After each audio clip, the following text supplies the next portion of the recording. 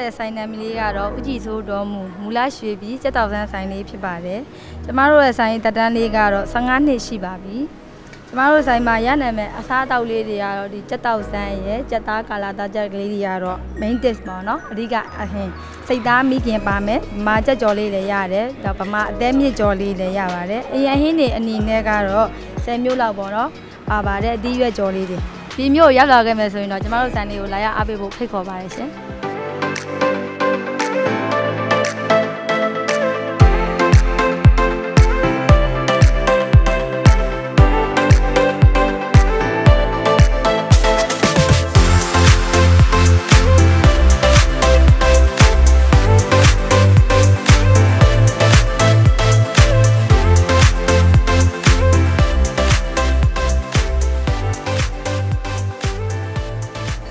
ဆက်သားလိုက်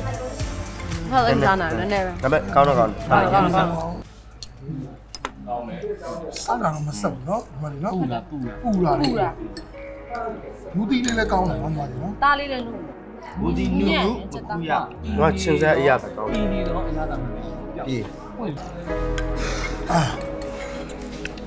တနေ့ကောင်စားထားလို့ညဒီနေရာမှာလေအေးလေးပြေသွားတာဟုတ်ပါ ကောင်းလိုက်တဲ့ချက်တော့ဆန်ဟမ်ဒီမကောင်းတဲ့ချင်းတော့ကောင်းနော်ကျုံးဝါနော်ကရွေးပြတ်နေပါဟမ်ရေရိုးတော့မှလည်းမကြည်ချွေးဘလို့ပြပြကြတယ်ကြည့်လိုက်ဖုန်းနေနဲ့ထွက်ခဲ့တယ်အဲ့အဲ့ဖုန်းနေနဲ့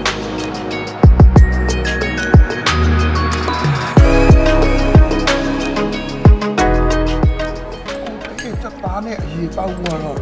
နောက်သုံးဘက်ကတော့ထပ်မှာပဲ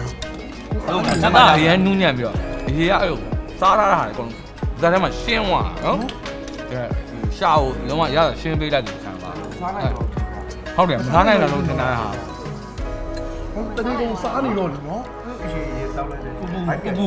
ပူပူစက်စက်တာတယ်ဆိုပူတဲ့ဘက်ကိုနည်းနည်းလေးပို့ရတာနော်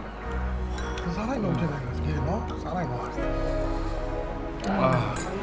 ကျွန်တော်တော့ရေတောက်တောက်နေကြသူဆိုတော့အဆင်ပြေတယ်ဒီတောက်တယ်အမဲ့လူတိုင်းကတော့ရေတောက်ကိုတော့ ကြိုက်ချင်မှကြိုက်မှာပေါ့နော်လက်ခံနိုင်တယ်တောက်ပါလေအဆင်ပြေပါတယ်ဒါစားလို့